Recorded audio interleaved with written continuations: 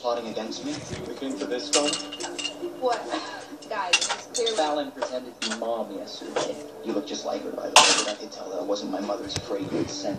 Just so I would write